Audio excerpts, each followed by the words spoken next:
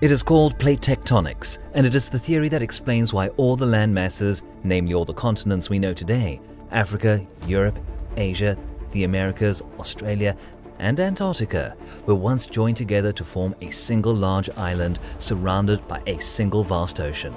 We call that supercontinent Pangaea, which means all lands, and the super ocean was named Panthalassa, which obviously means all seas. This magnificent assembly lasted from the Carboniferous period to the Jurassic period, approximately 335 to 200 million years ago. It's like saying that for over 100 million years, you could have comfortably traveled by train from New York to Casablanca. And we're not joking. Geological evidence has definitely established that during that time, the United States faced east towards Morocco, Mauritania, Senegal, and Cuba, and to the south with Venezuela. Italy was connected to Tunisia, and Greece was connected to Libya. Great Britain was not an island, but bordered France, Norway, and Ireland. Canada stood face to face with Denmark, Portugal, and Morocco, while Spain and Algeria were one entity. Even the famous Brazilian beaches didn't exist. At that time, if the land of Bossa Nova had its current borders, it would have had no access to the sea, bordering Namibia and Liberia. And let's not forget Tibet, which was not connected to China but to Australia, which in turn had bypassed Antarctica, slipping even further south of the icy continent. In short, during that period you could have walked everywhere. But then, 220 million years ago, the puzzle pieces that formed Pangaea began to drift apart, a process that continues to this day and will not reverse for millions of years to come. But don't trust everything you read. The position and shape of continents in previous epochs are much more complex than they might appear when reading here and there. As much as textbooks provide seemingly secure representations of what the Earth was like during the time of Pangaea, it should be taken with a grain of salt. However, one thing is certain, earthquakes, the formation of mountain ranges, volcanic activity, the carbon cycle, the advent of ice ages, and even the origin of life itself have been directly influenced by plate tectonics. Follow us and we will tell you why. Earth is the only rocky planet with plate tectonics, meaning its surface is tormented by all kinds of physical and chemical activity. The reason behind this is truly a mystery and does not solely depend on the size or composition of the planet's materials. For example, Venus, which is almost a twin of Earth, doesn't exhibit anything similar. And this has had consequences. The movement of fragments of Earth's crust have undoubtedly caused climate changes and the distribution of flora and fauna across the continent. The chemical composition of the seas has changed many times over, leading to changes in marine organisms that inhabit those environments. Life, in short, has had to adapt to the constant changes imposed by tectonic upheaval. But in the absence of a time machine, how do we know all this? Well, someone, even some cartographers from the 16th century, had noticed for a long time that the eastern profile of the South American continent fit almost perfectly into the western profile of Africa, and even the rock formations on opposite shores of the Atlantic matched this structural concordance.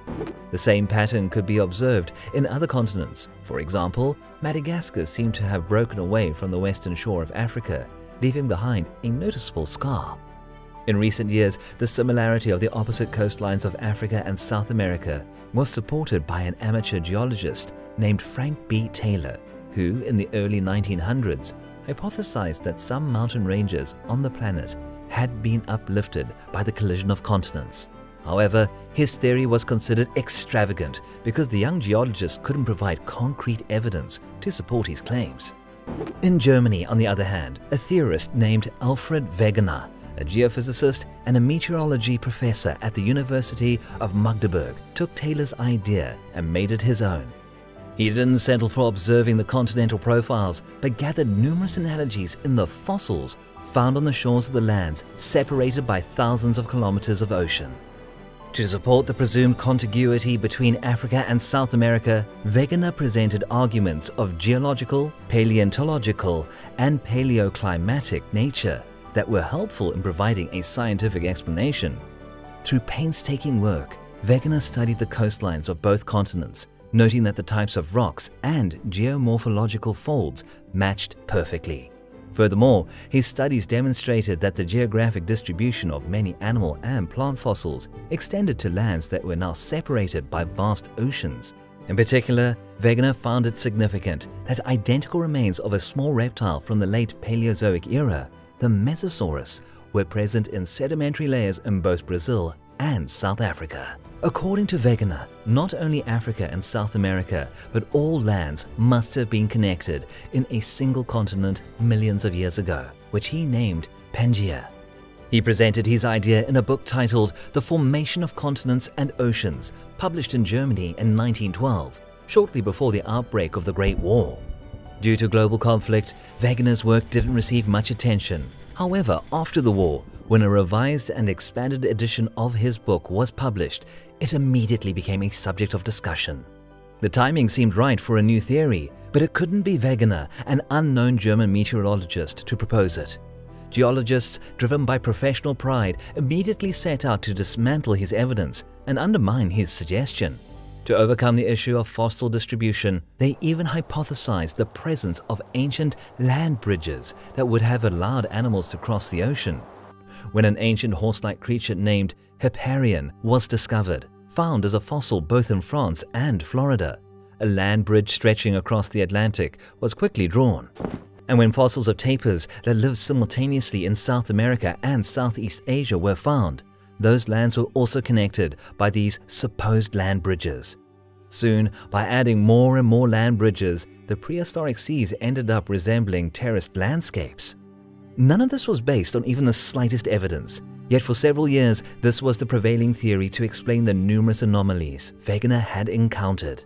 Until the scientific community began to realize the scientific position was verging on the ridiculous, allowing Wegener's hypotheses to finally gain ground even among the more academically oriented geologists. Unfortunately, the German meteorologist had tragically passed away in 1930 during an expedition in Greenland. The imaginative land bridges soon disappeared from the illustrations, and at that point the idea of the continuous mobility of continents over time began to mature enough to be thoroughly explored. Indeed, there was still a puzzle to be solved. The continents were moving all right, but the cause of this movement remained a mystery. In his book, Wegener attributed the cause of these movements to exogenous forces, such as the Earth's rotation and the gravitational pull of the Moon, but his explanation was rather vague. So the mystery persisted until the years of the Second World War, when, thanks to the first sonar technology, an unexpected discovery was made. The ocean floor was crisscrossed by canyons, trenches, fissures, and dotted with underwater volcanoes. Following these discoveries, throughout the 1950s, oceanographers began conducting increasingly sophisticated surveys of the ocean depths, revealing an utterly alien world. Even before that, those involved in laying cables on the ocean floor had noticed from the behavior of the cables themselves that there must be some sort of mountainous protrusions in the middle of the Atlantic. But the surprises didn't end there. In the midst of the ridge running through the Atlantic Ocean, a wide fissure was observed, suggesting that the Earth was breaking apart. It seemed like an absurd idea, but that's what the research indicated. Moreover, the core sample suggested that the ocean floor was relatively young near the mid-Atlantic ridge, but got progressively older as one moved away from it, both to the west and the east. This observation could only mean one thing. The new oceanic crust was forming on both sides of the central rift and being pushed away as it formed and advanced. The Atlantic seabed appeared to be made up of two conveyor belts, one pushing the crust towards North America and the other pushing it toward Europe. This process became known as seafloor spreading. When the oceanic crust encountered the continents, it sank in a process known as subduction. This explained where the sediments deposited by rivers into the sea ended up. They were returned to the Earth's depths, thus revealing the causes behind the chaotic motion of continents postulated by Wegener. A theory emerged offering a new unified and comprehensive view of the planet's surface. This theory, now known as plate tectonics, posits the presence of about 10 major plates and around 20 smaller ones, all moving in different directions and at different speeds, fueled by volcanic eruptions on the seafloor. The larger plates move slowly, while the smaller ones are more dynamic. And what about the future? Well, assuming things continue more or less as they are now, in the future, the Atlantic Ocean will expand to become much larger than the Pacific. The Californian Peninsula will detach from the American continent, forming a sort of Pacific Madagascar. Africa will push northward, compressing the Mediterranean until it disappears, giving rise to a mountain range as imposing as the Himalayas. Trapped in the squeeze, Italy will hardly remain recognizable. All of these are future outcomes of events that are already underway. Europe and North America are separating at a rate of 2 to 3 centimeters per year. It's only the brevity of human life that prevents us from fully appreciating the changes taking place. A fascinating story, no doubt, but what effects has the continuous dance of continents had on animals and plant life? The newly formed supercontinent presented severe climate and environmental extremes due to its vast size. The south was cold and arid, and a significant portion was covered by glacial ice caps.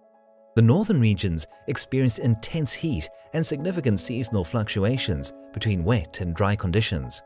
The lush, swampy forests of the Carboniferous period, inhabited by arthropods and amphibians, were gradually replaced by conifers, seed ferns, and other drought-resistant plants. The early reptiles were well positioned to capitalize on the new environment protected by their thicker and more moisture-resistant skins. They moved into territories previously dominated by amphibians. But there's more. Geologists argue that the formation of Pangaea may have been responsible for the mass extinction event at the end of the Permian period, particularly in the marine realm. With the formation of Pangaea, the extent of shallow water habitats decreased and land barriers prevented cold polar waters from circulating into the tropics. It is believed that this reduced the levels of dissolved oxygen in the remaining warm water habitats and contributed to the 95% reduction in species diversity in marine environments. The breakup of Pangaea, on the other hand, had the opposite effect. Lower water habitats emerged with the increased overall coastline length, and new habitats were created when channels between smaller continental masses opened, allowing warm and cold oceanic waters to mix. On land, the breakup separated plant and animal populations, but life forms in the newly isolated continents gradually developed unique adaptations in their new environments, and biodiversity increased. Perhaps it was just a combination of factors, but whatever the cause, new animals and plants appeared to fill the void. Not least among them were the dinosaurs.